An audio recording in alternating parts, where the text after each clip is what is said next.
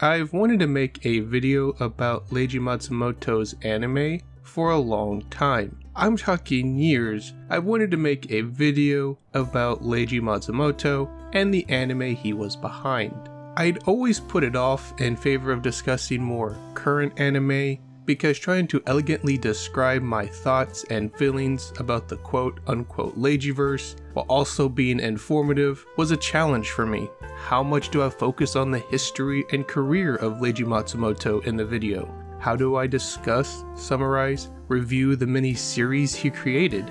All I knew was that I wanted to talk about Leiji Matsumoto and the many series he created because I really enjoyed them.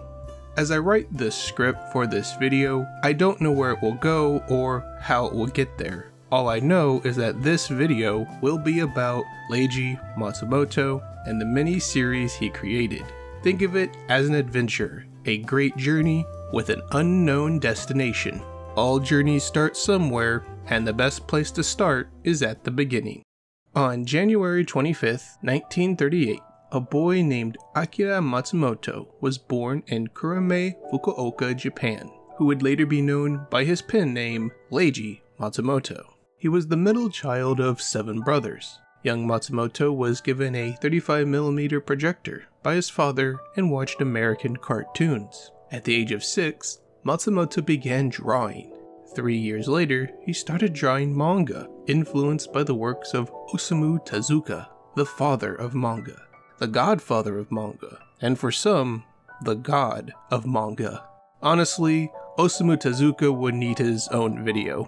Growing up, the young Leiji Matsumoto was interested in science fiction novels by authors such as Unno Juza and H.G. Wells. In 1954, at the age of 16, he made his manga debut under his real name, a one chapter story titled Mitsubachi no Boken, or Honeybee's Adventures, was published in the magazine Manga Shonen. At the age of 18, Matsumoto moved to Tokyo to become a manga artist, initially specializing in shoujo manga, manga aimed at girls and young women.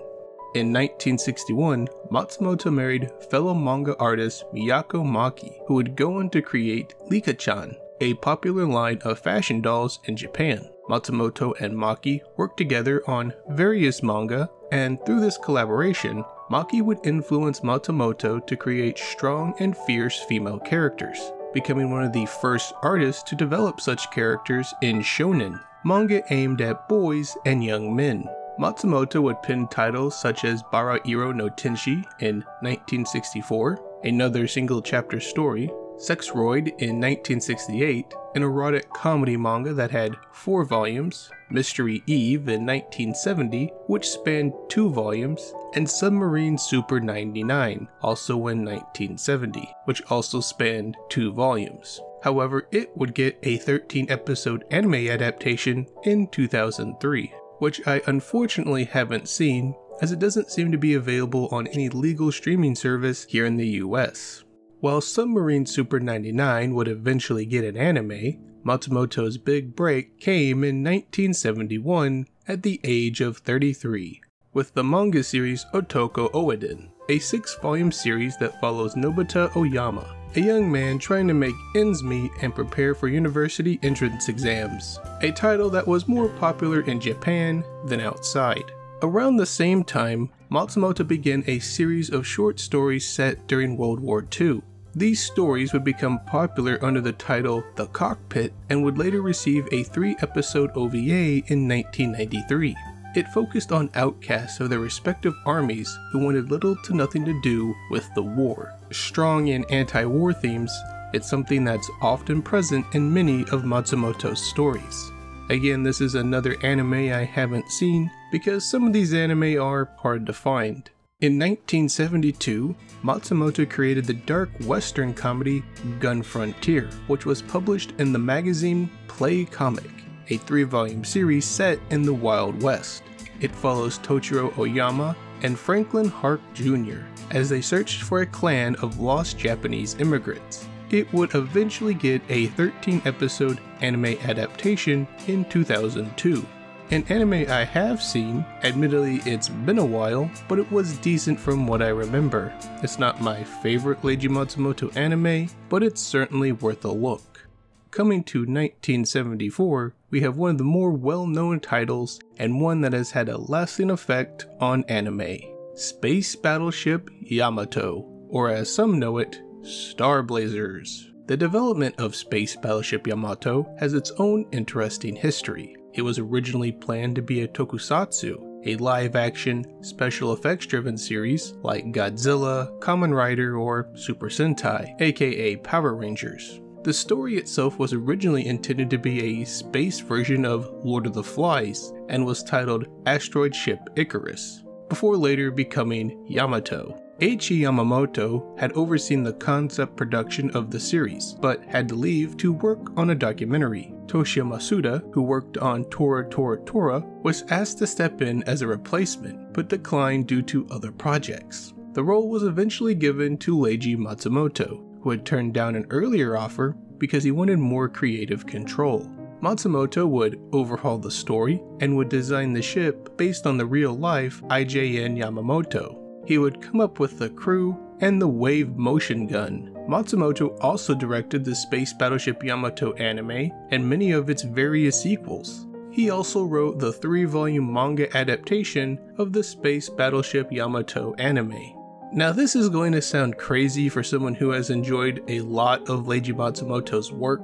I haven't seen Space Battleship Yamato or Star Blazers, whatever you prefer to call it. Not the original, not the sequels, not even any of the remakes. I hope to fix that one day. I ended up going down a separate rabbit hole when I first got into Leiji Matsumoto's work. One involving a character that was originally planned to be in Space Battleship Yamato, but was cut when the original number of ordered episodes was reduced. I'm referring to Space Pirate Captain Harlock.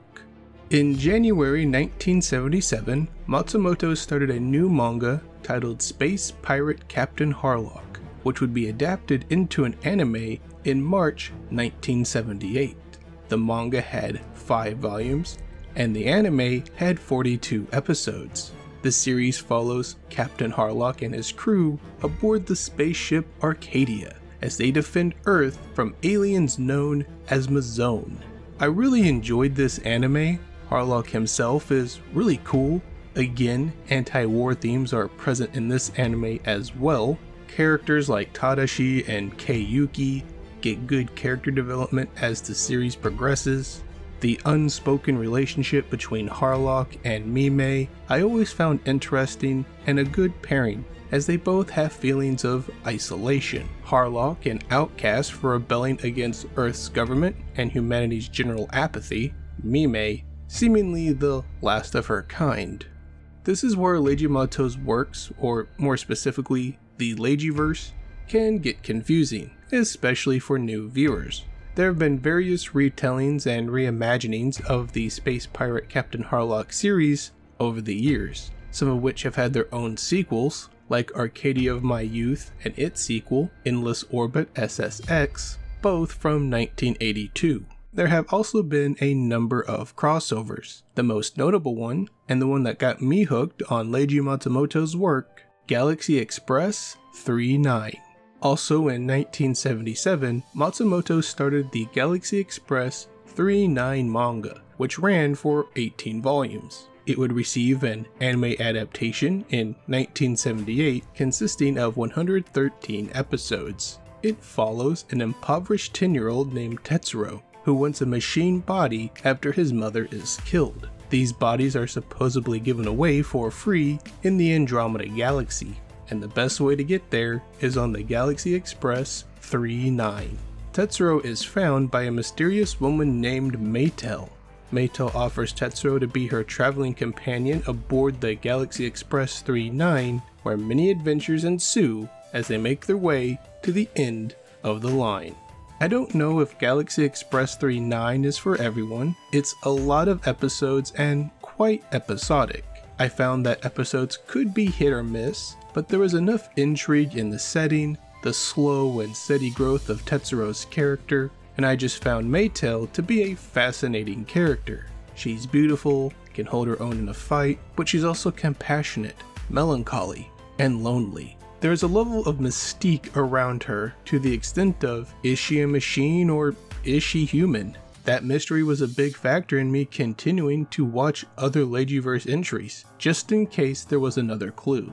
There was a movie adaptation of Galaxy Express 999 in 1979, which had a sequel in 1981 called Adieu Galaxy Express 999, and a sequel to that in 1996 called Galaxy Express 999 Eternal Fantasy. Maetel would later have entries that focused more on her, such as Maetel Legends in 2002 and Space Symphony Maetel in 2004. She appears in a number of other Leijiverse entries, you never quite know where she'll appear next. Sometimes, not even in the Leijiverse.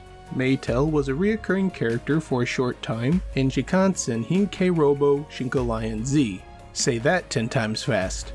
It's basically a mecha transforming train anime series for kids that started in 2018, which admittedly I'd probably check out if it was streaming in the US. While Captain Harlock didn't make an appearance in Space Battleship Yamato, he did make an occasional appearance in Galaxy Express 999. So did another interesting character, Queen Emeraldas.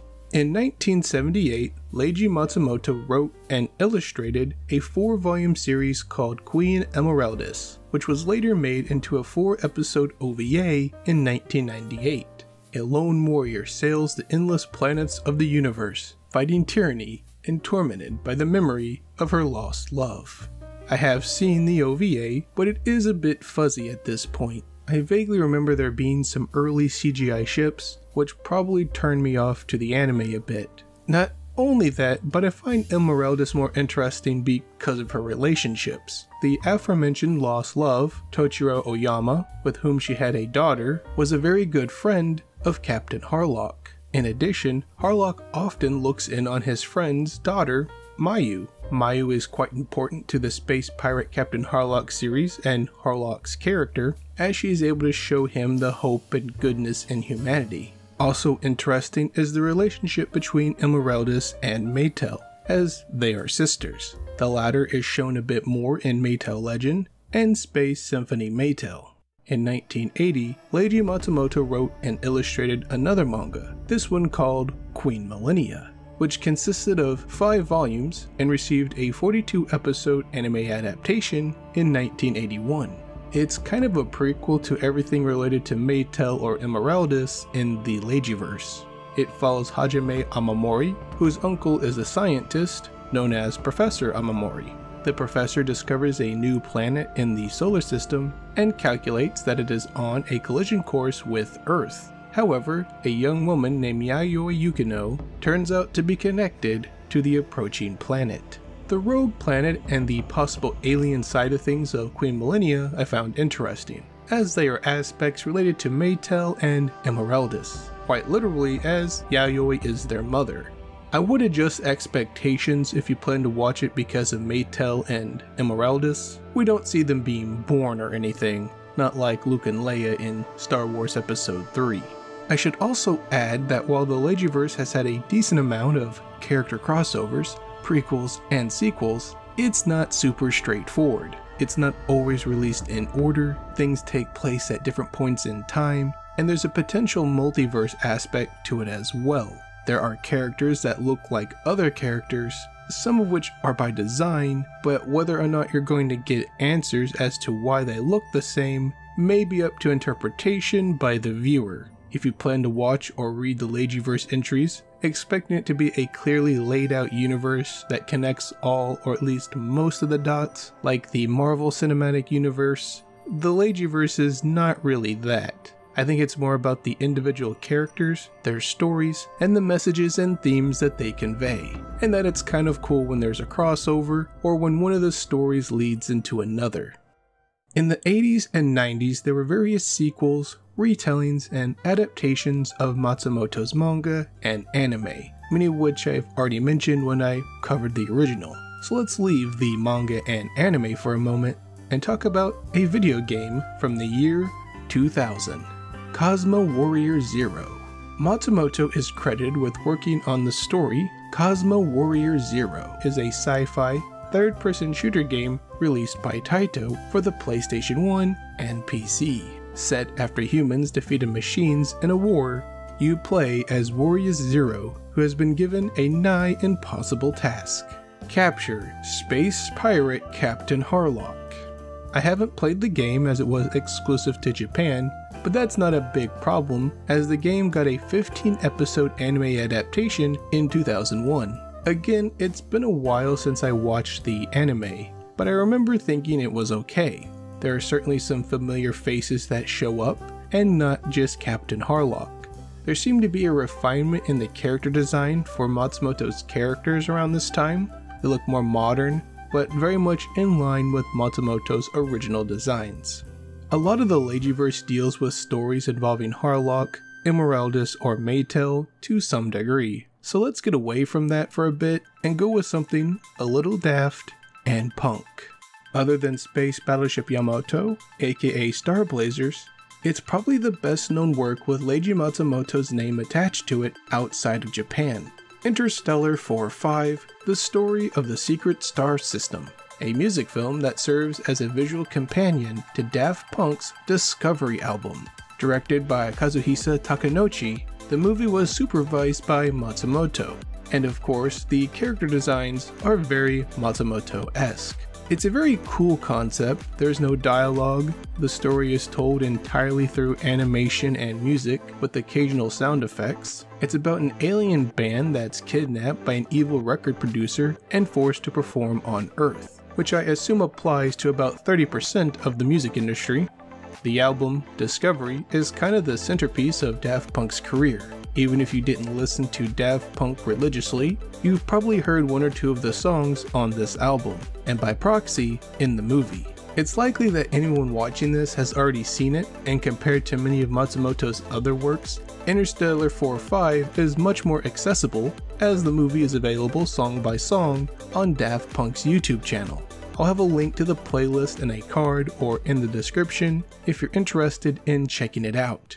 Getting back to trains flying through space like Galaxy Express 999, Leiji Matsumoto produced the anime The Galaxy Railways in 2003. The first season consisted of 26 episodes, the second season, which started in 2006, had 24 episodes, and there was a 5 episode OVA that started in late 2006 and ended in 2007. The story follows Yuki Manabu, who joins the Space Defense Force that protects the safety of the Galaxy Railways. I remember really enjoying the first season, but not liking the second season as much. The OVA features Maetel, so at least it had that going for it.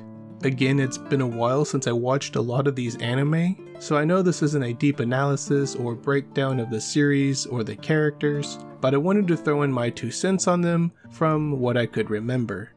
In 2009, Matsumoto dipped his toes back into the music world by serving as a producer on the music video for Queen's Bohemian Rhapsody. Yes, that Bohemian Rhapsody. This is an official thing, not an AMV or anything.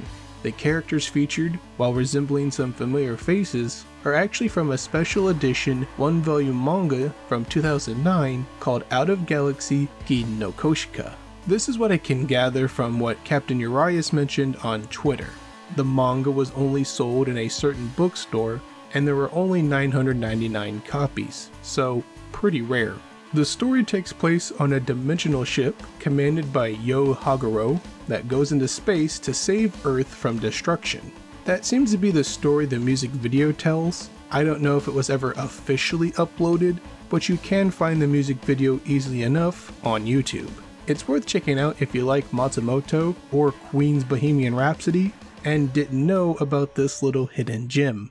In 2012, a six episode anime called Ozma was released. It was based on an unused script written by Matsumoto in 1980. It follows desert trader Sam Cohn rescuing a woman named Maya from a group of soldiers. Another anime I haven't seen, but I'd like to check it out if it's available for streaming somewhere. Around the same time, Space Battleship Yamato would see a resurgence. A remake titled Space Battleship Yamato 2199 would be released, and has had several sequels since then. The most recent one, at the time of this video, was released in February 2022, but I don't think Matsumoto was very involved in any of the productions. Another Matsumoto classic would get a remake in 2013, a movie titled Harlock Space Pirate, a CG animated movie based on space pirate Captain Harlock. Again, I don't think Matsumoto had much to do with the production, but they're obviously his characters. Excellent CG for 2013, I enjoyed the movie overall. I think Harlock looks great even in CG. It's not my favorite version of Mime, but almost every Mime is different in every Harlock adaptation or retelling. At the very least, the CG has come a long way since Queen Emeraldas back in 1998. In 2014, Matsumoto would work again on the story of Harlock in Captain Harlock Dimensional Voyage, this time alongside Koichi Shimahoshi. Spanning 10 volumes, it's a retelling of the original 1978 manga, with pretty major plot differences, but very modernized versions of Matsumoto's classic character designs. I've read it once before, it has really nice art of these classic characters now modernized, but I felt it was a bit too heavy on cameos of other Matsumoto characters that didn't add much or go anywhere in the story of Dimensional Voyage. But again, if you're a fan of Matsumoto, may be worth picking up, at least for the artwork. At 2017 Japan Expo, a trilogy of films titled The Zero Century was announced. The first movie, scheduled for 2020, was titled The Zero Century Emeraldas. The second film, titled The Zero Century Harlock, was scheduled for 2023, and the final film, scheduled for 2026, was titled The Zero Century Maetel. Posters and illustrations for the trilogy were shown at the event, however, none of the films have been released, and there's no word on when they will be. In 2019, Matsumoto suffered severe respiratory problems during a visit to Italy as part of the 40th anniversary celebrations for Captain Harlock. He collapsed during an event in Turin. He was rushed to the hospital in critical condition. Two days later, he was considered out of danger and would eventually be released. In 2021 came more Captain Harlock, courtesy of Ablaze Publishing. A six issue comic book titled Space Pirate Captain Harlock was released. Story by Leiji Matsumoto and Jerome Alquié, art also by Alquié. It's a side story set in the timeline of the original series about Harlock and his crew finding a new type of Mazone. I liked it overall. The art is very reminiscent of Matsumoto's original style. Not sure how well it fits into the original timeline, but it was nice to see these versions of the characters again, as well as some familiar faces one more time.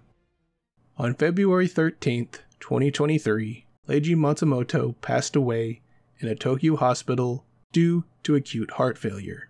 He was 85 years old.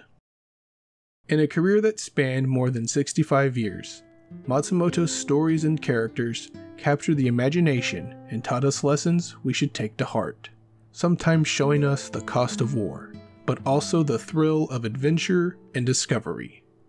Leiji Matsumoto will be missed. I know I didn't cover everything Matsumoto created. He created a lot. I also didn't cover every aspect of his life. He lived a long life. There's limited information in English. As I mentioned, outside of Yamato and Interstella 4-5, Matsumoto's other works weren't quite as popular outside Japan, so unfortunately there are bound to be holes in the available information. I'd like to end the video with two quotes. The first from Leiji Matsumoto himself in a 2018 interview War destroys your future, the civilization of mankind. I was told by my father that any life is born in order to live, not to die. I think we should not be wasting time fighting on the earth. And finally, a quote from Leiji Matsumoto's daughter, Makiko, after his passing manga artist Leiji Matsumoto set out on a journey to the Sea of Stars. I think he lived a happy life, thinking about continuing to draw stories as a manga artist.